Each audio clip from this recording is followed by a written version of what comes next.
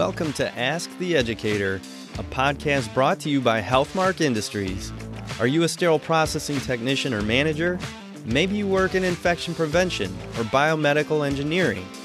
Whether you're a frontline tech, endoscopy tech, or nurse, or surgical services administrator, you undoubtedly have influence in medical device processing at your facility.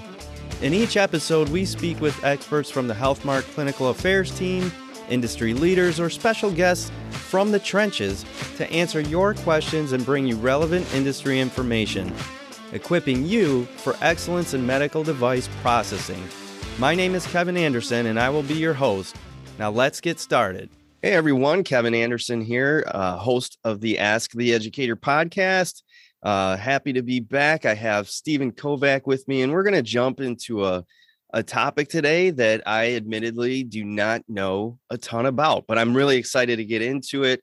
Steve, thanks for coming on as usual. And I think this one's going to be really interesting because I can't help uh, but think that a topic like dental instruments and reprocessing isn't going to strike a nerve with every single listener out there because we all have to go to the dentist at some point. And uh, I can just tell you from my own experience that every time I go now, now that I know what I do about reprocessing and the fact that not every surgical reprocessing area is an equivalent in terms of quality and uh, being up to standard, I, I am definitely sufficiently afraid every time I go to the dentist uh, well, to get work done. So, well, Kevin, why don't we call this open wide? It's the dental clinic. I mean, yeah. because this is going to be a wide subject, and maybe we'll have yeah. some other other conversations or get some dental professionals on with you later. So, I'm going to start off with the dental profession is a little different in this, this sense. If you go into your dental practice and you ask your dentist what organization they belong to, some might not belong to anything. And uh, some might say, well, we get our education through our sterilizer company or, or whatever. But there is a really good organization called OSAP. It's OSAP. It's the Organization for Safety, Asepsis, and Prevention for Oral Care Professionals. They sort of team up with the CDC, and you could go online and you can get their standards and guidelines and go from there.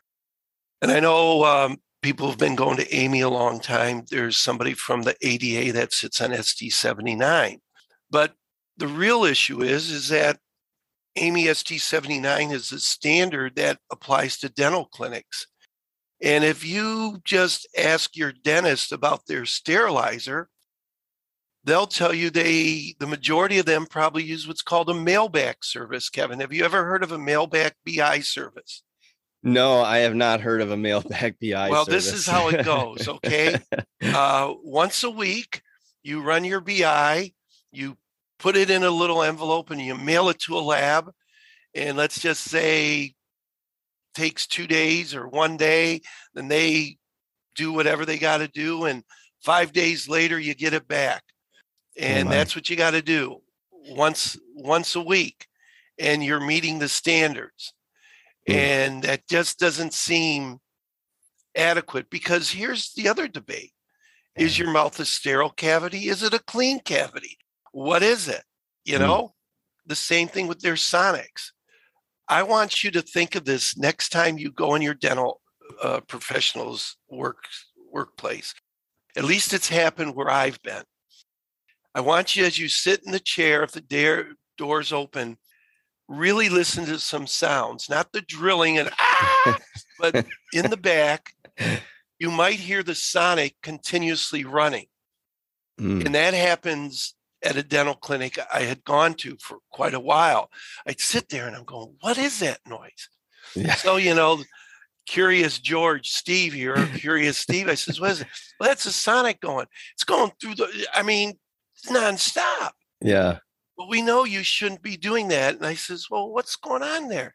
Well, we just keep the sonic running. We put the instruments in and out through the day and then change the bath. And oh, okay, well, that's that's really good, you know. Yeah. Okay. And I, I, I cringe and I've had some talks with my dentist and we've helped change some things, but you know, it's a little different. How do you tell a dental professional, you know, and Mm-hmm. Where do you get mm-hmm. books on other than AAMI and a few things? Um, but you think about the dental it, cleaning is cleaning, sterilization is sterilization. It's going in your mouth, whether you think if it's clean or dirty.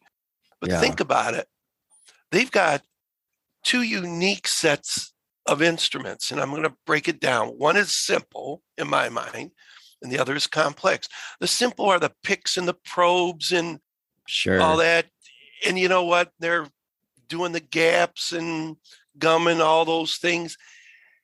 And those, you know, are fairly easy. But then when they use the cement, and you know about bone oh, cement, gosh. this cement, they have yeah. cement that gets stuck on their spatulas and different things. So how do they clear it, clean that? But then they have drills. Drills are an issue. Hmm.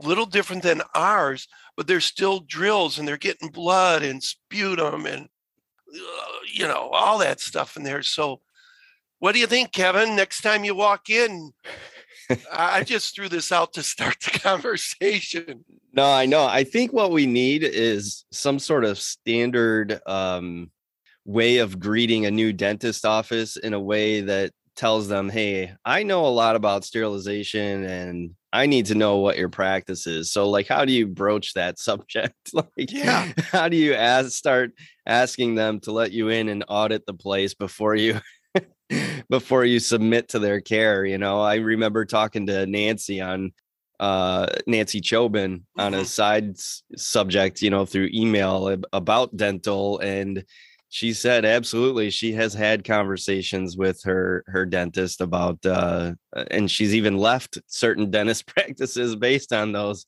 wow. conversations and that's uh you know that's that's what we need to equip each other with how that's do we right. go in and have these conversations because they're really important and uh clearly there is a gap between what's going on in the medical facility and what's going on in the dental facilities and you eh, you brought up a great point you know is it clean is it dirty uh, or is it uh, you know where does it fall on that spectrum when it comes to like a Spaulding classification and mm-hmm. In my mind yes the mouth is dirty but like to your point they they're using drills and they're getting into uh, the sterile tissues at my some teeth point. bleed so, so, they're going Kevin, yeah and they, they're so they're in a sterile bit they're cut, yeah yeah you know, you know I'm exactly. sorry. no, that's my point. That's you know, it might start off in a dirty area, but it's somewhere along the line, depending on the work that's being done, we're we're crossing that line. Uh, just like in GI, when you do a biopsy,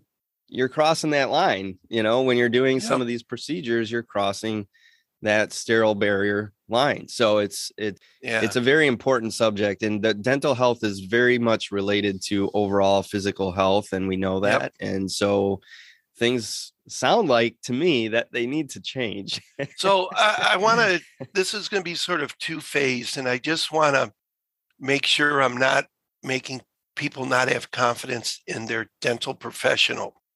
They have people who go in and audit them and if their guidelines are saying once a month or once a week, and they're doing that, then they're meeting that the standard, that standard or guideline. The that is, and we know that can happen in a hospital. It says minimum weekly, preferably daily. It does say if they're doing implants, they must run a BI. But if they're right. doing a mailback service, that's not coming back right away. But that's a whole yeah. other issue. Right. But how do you get people to go to best practice? And now instead of them, I don't know what a BI is, I'm just going to make it up. It's $10 and they're doing one every day that adds to the cost of their practice. Or you and I will, and I don't want people to think I'm trying to get people to buy our products because we believe in quality. But think about it the sonic that is continuously running, how, just because it's making a sound, you've seen it, Kevin, doesn't mean it's really cavitating and working. It's a great expensive yes. soaking tank then. So yeah. how do we help people go to that next step? And um, part two of this, and Kevin, I'm showing my age, and I want to give Chuck Hughes in OSAP a big shout out. For those of you who don't know, Chuck Hughes has always been very, uh, he's retired now, but he was always very big in promoting dental quality. Sure. And back in the 90s, he did a movie where they actually, this was after the big HIV and everything, where they actually showed the splash that comes out of somebody's mouth. Oh. And it is really great. I've been trying to find it. And that's why they started wearing more face shields and gloves and so on. And then what happened now with COVID, but they showed that the splash of just the saliva hitting everybody was phenomenal. And this sort of correlates to something that just came out with uh, Cori Ofstead. She just yes. wrote that article in, in yep. AJIC about the splash and decontam and all that. So we're doesn't matter dental clinic, ASC. We're supposed to focus on dental clinics. It's all important. Yeah, they're sort of meeting the standards, but sometimes which one are you using?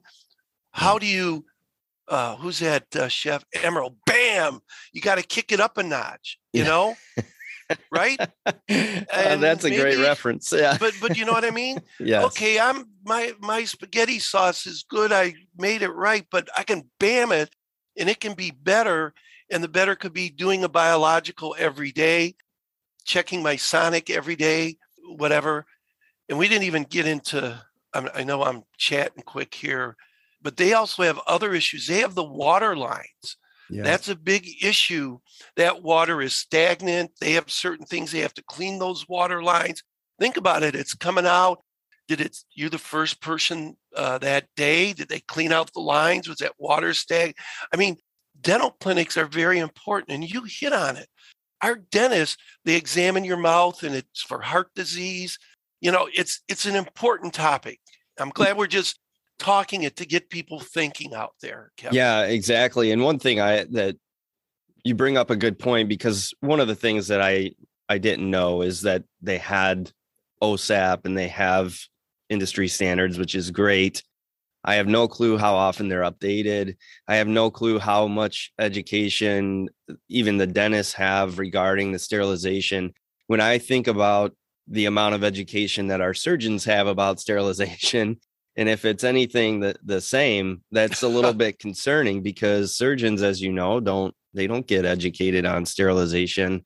And also, I think about other procedural areas, and one of them specific comes to mind, and that's OB. And when OB does their own surgeries uh, like c-sections and things like that oftentimes that's in a, in their own or with their own staff they don't mm-hmm. have or staff there and at least at my former facility, those OR techs, those surgical technologists, were not actual surgical technologists. They were trained on the job by wh- whoever came before them. So there was no understanding really of, uh, you know, from from a formal education standpoint about sterilization. It was just training on the job training, and so that's what I'm wondering about dental when it comes to running that tabletop sterilizer, running that ultrasonic, are they getting a real are they getting any of that in their formal education about how to test the sonic? How does it properly run? How does mm-hmm. how does the sterilizer properly run? How do you know it? How to test it? And you know what what are the implications of that if you do have problems you know? Like is that part of their uh, education? I would love to know those things because yeah. i i'm I'm not real sure because there was a few times where I did get the the the gumption uh, to ask some questions of my of my techs that were helping do the cleaning and and they didn't seem they didn't come off very knowledgeable maybe they didn't understand the questions because patients typically don't ask them questions about their cleaning and mm-hmm. sterilization procedures but I wasn't overwhelmed with confidence after having the sure. conversation. And and that could be you're you're sharing your experience and now thinking about the dental office. And again, I don't want people to start going out. Ah! Yeah, but yeah. Some things you can do is when you walk into the office, what certificates do they have for the staff? Um, I been in a, many dental offices. We didn't even get on the washers. I don't want to tell you about the washers. Uh, we can talk forever. But uh, this one doctor does belong to OSAP, and he goes to the meeting every year, and his staff follows their infection control guidelines. So you can see in SM certificates what they've gone to. And again, it's how do you approach them? There's a book that I don't think a lot of people know about, Kevin. I think you know about the AKI Institute out of Germany. They put out the red book, you know, mm. for uh, instrument reprocessing. Have you you've heard about the red book from AKI? Yes. Well, guess what? They have the green book for dentistry. Now, it was last updated in 2016, but when I get calls from dentistries or for from dental professionals, I tell them about this book. It's free. You go search it AKI uh, Dental Green Book. Again, uh, it's it's got a little more European flavor to it, but it's a good book to help start what to do, the the issues, and a lot of it they're all the same. We're all reprocessing instruments. And we got to clean and brush and do that all the right way. It's how do we help the dental professionals? And again, it gets back to some people I've talked to. Well, the mouth isn't sterile, but I know we only try to do this for 10 or 15 minutes. And um, I just thank you for wanting to open people's eyes to think about their dental professionals. And for us who go in and audit, we have done some dental clinics and uh, we try to help them and tell them about ANSI AAMI ST79, which they should be following. And they have uh, small tabletop sterilizers. I got pictures where they just jam the stuff in there. Yeah, I, and it's not everywhere, everybody. Again, I, I don't want to paint this horrible picture, but it's all about training and education. Like you said, your OB, we're here to help and to raise the level to get that confidence up, Kevin. I hope I didn't make it too ooh that's scary out there but you know no i i that was probably me doing that but the but the reality is that we all have to remember too is okay i'm i'm such and such years old i've gone to the dentist all these years I've not really had any issues. Yes. So I mean like we we do have to fall back on our experience a little bit and not yes. over overwhelm ourselves with with fear, you know. Yes, yes, we true. do need to raise awareness. We need to uh, whether it's our own understanding of what's going on in the dental industry and trying to you know cross paths in in there and help each other out but um overall we can't we can't overwhelm ourselves with fear and just not get yeah, the, the I, important work done that we need to get done that's right. you know? It, it uh, with that real quick is it's very interesting that again as with anything you try to teach and get people to understand you know there could be a better you, you could do this or try that and uh, if they haven't had issues why? Well you want to try to always get to best practice and as people are more educated, we know it's happening with our physicians. Now, not everything is true on Google or where you search, but physicians now are being challenged in a different way. Their customer or their patient is saying, Well, I've read this, I've heard about this. Oh, yeah. What about, and That's some true. of it is just advertisement from TV. You know, I want to take this drug or whatever. But that too you have a dental professional, they've gone to dental school, or hopefully your hygienist went to and became a certified hygienist and just wasn't trained or whatever, and they understand the foundations because we know what happens in our own reprocessing. If people don't understand the foundation, it makes it difficult uh, on what they're doing and understand why they're doing it. And that's what we want to do.